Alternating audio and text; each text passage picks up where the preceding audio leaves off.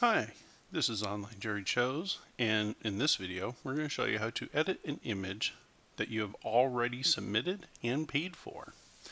The first thing you're going to do is click on the email address login box because we want to log in and go to our artist profile. So I'm going to go ahead and type my email in and my password. I'm going to click login as artist. It now tells me you are currently logged in with a button to log out. So now that I'm logged in, I'm going to go to your artist profile. Now as you can see, it comes up with some of the images I just entered into the Scenic Vistas of the San Gabriel Mountains. Now if you were paying attention, you would notice that one of my entries was misspelled. Phil Morning at Heiser Park? No. It should be called Fall Morning at Heiser Park. So I'm going to edit the title of this painting.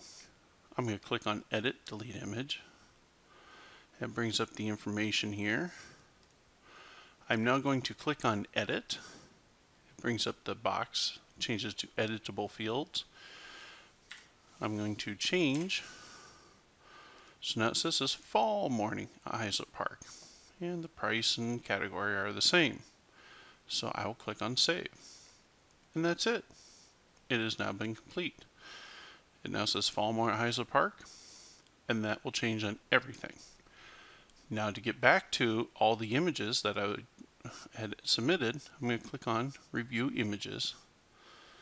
And here they all are, and sure enough, it says Fall Morning at Heiser Park.